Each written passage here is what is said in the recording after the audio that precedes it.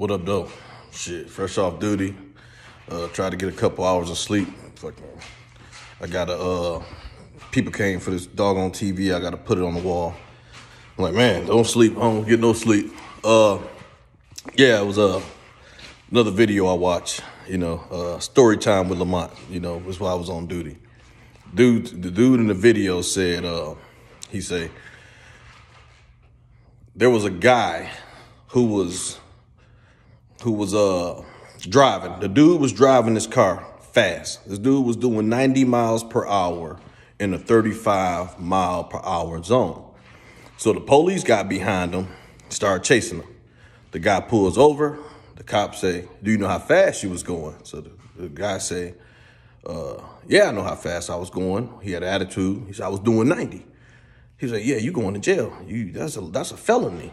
He said, "Wait, before you take me, I just want you to know there's a gun and a knife in my glove compartment, and in the trunk, my wife is back there tied up." He say, "What?" He grabbed him out the car, handcuffed him, put him in the back of the police car. The cop calls his sergeant out there to the to the to the scene. So the, the guy sitting in the back of the police car, the sergeant go out there, they start looking in his car. They look in there, they don't find a gun. They look in the trunk. They don't find a wife. They don't find a knife. They don't find nothing.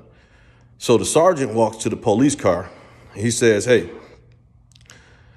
my officer told me that you had a knife in there, a gun in there, and your wife tied up in the trunk.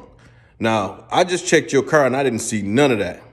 What is going on? He said, and I bet you his lying ass told you that I was speeding too.